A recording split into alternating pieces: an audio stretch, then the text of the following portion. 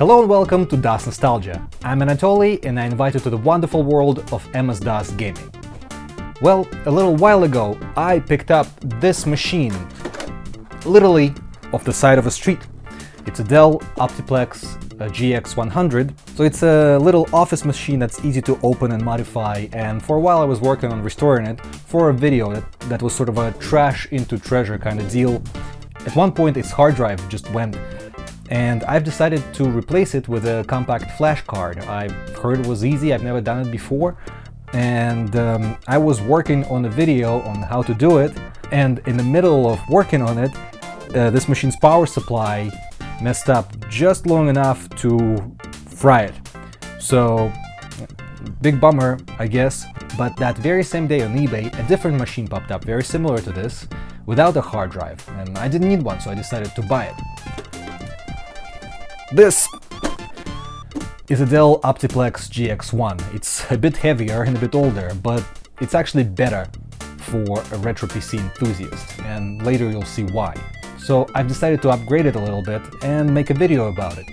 Um, mainly to show how easy it is, because believe it or not, I am not a very technical person. I don't know much about hardware. I'm a DOS enthusiast, I deal with software a lot, but not so much with hardware. So I decided to show how easy it is to rescue one of those old machines and turn it into something that's easy to use today. So let's work on it together.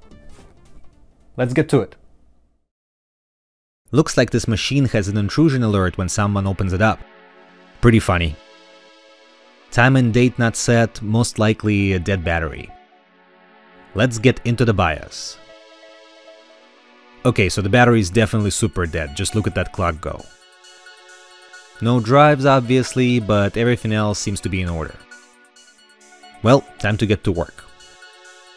Let's open this baby up. What I really like about these machines is how easy they are to open.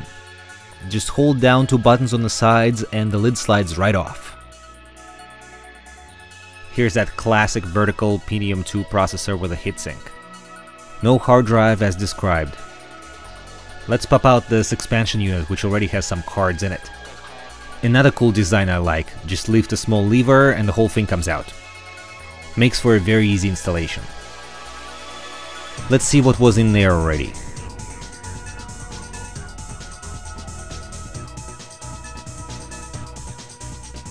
This is a Creative Vibra sound card.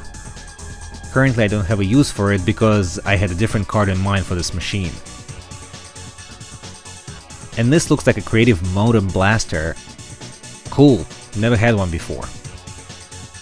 We're gonna be using this Monoprice IDE to Compact Flash CF adapter that I bought on Amazon for $9. I didn't know anything about it except for that I did a search for it and was surprised to find one so cheap. So we're gonna be installing that along with the Sound Blaster Live Value PCI card into this machine. What I really like about this computer being of that specific time is that it has both PCI and ISA, or ISA, slots, making this a very good machine for any retro nerd.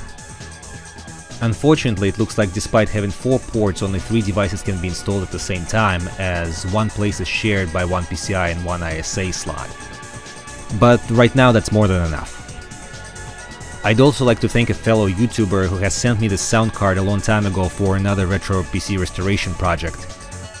I'm very grateful and the only reason I don't mention their name right now is I don't want them to get bombarded with requests asking for free sound cards.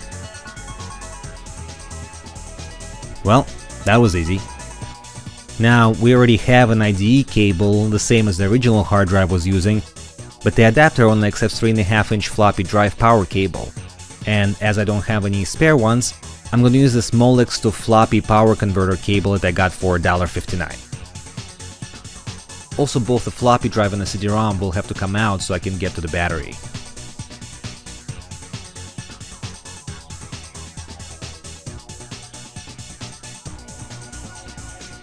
Alright, this is a battery.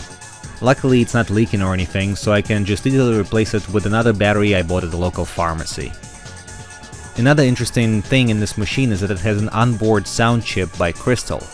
I've heard good things about it and its DOS compatibility, but for the time I'm going to stick with my Sound Blaster Live. Changing the battery is easy as that. And now it's time to put everything back together.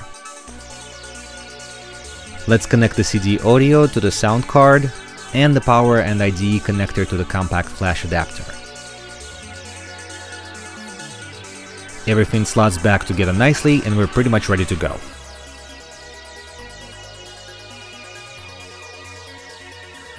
For this machine I bought this Transcend compact flash card only because it showed up in suggestions as what other customers were buying together with the adapter.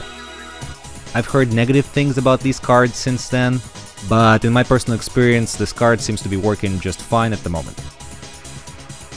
Another thing I learned by looking at the footage is not to use a passive VGA splitter, as it messed up the colors and bias and would no doubt mess up more. From now on we're gonna be using this one.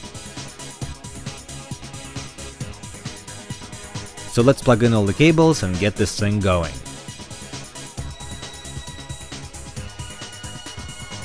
I'm gonna start it up without the card first to check if there are any problems. Well, the clock is still going super fast, but I think that's fine. Let's disable the chassis intrusion alert and also disable the onboard sound as I don't intend to use it. Now, using a new machine, I'm gonna format the CF card and not gonna bother with creating multiple partitions because after all this is going to be a Windows 98 machine primarily and it can handle large partitions and files.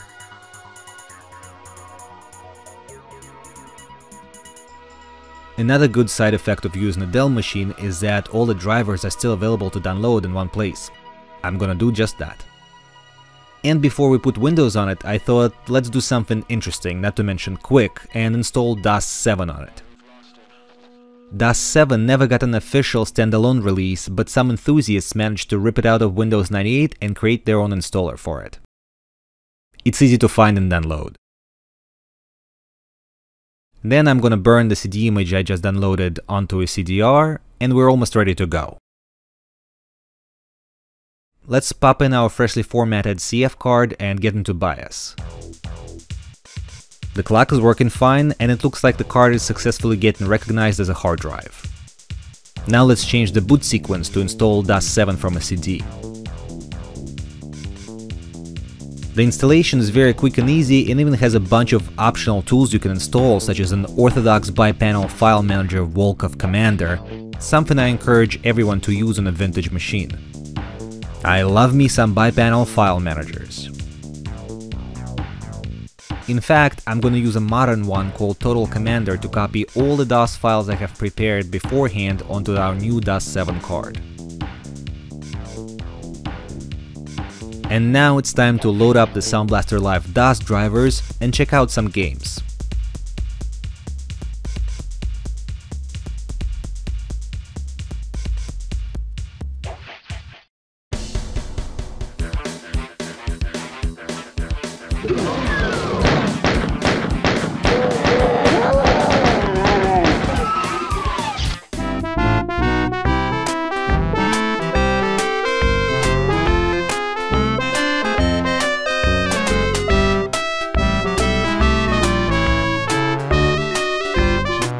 Cool little thing about Sound Blaster Live is that it has simple MT32 emulation, although it only works for games that use the default instrument bank and don't upload their own patches.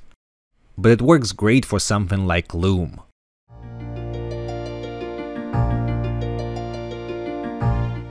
Okay, now it's time to move on to Windows. Unfortunately, the way I handled things, I have to reformat the DOS 7 partition before I can install Windows. Oh well.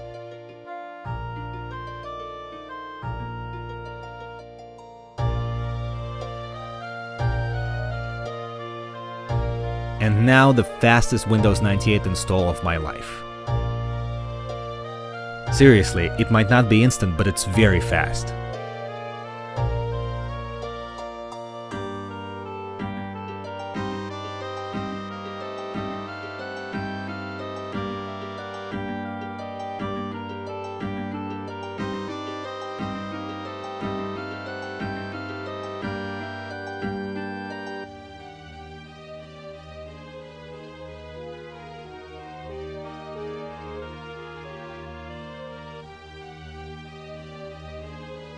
Now let's copy all these drivers I've downloaded and install them.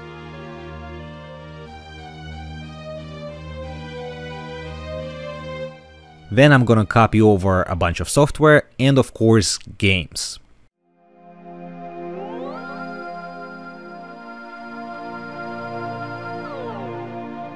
On a vintage Windows machine, I always prefer to have a couple of bipanel file managers and a CD-ROM drive emulator.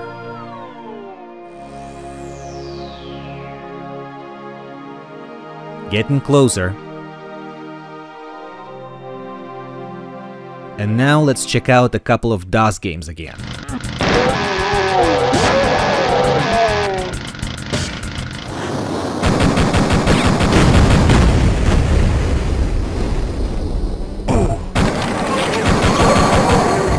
And since this is a Windows machine, let's see some Windows games as well. Like the classic Ski Free.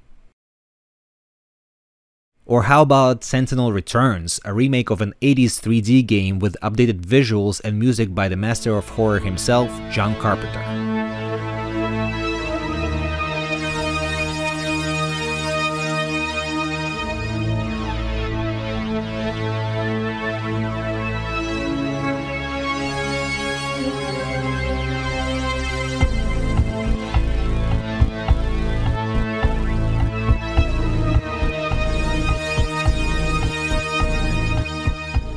I'd say everything is working just fine.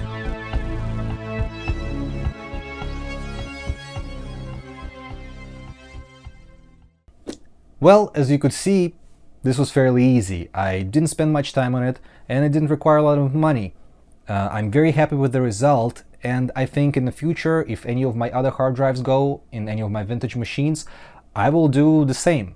And I'll certainly would like to encourage you to do the same. And as for this machine, you'll be seeing a lot more of it in future videos.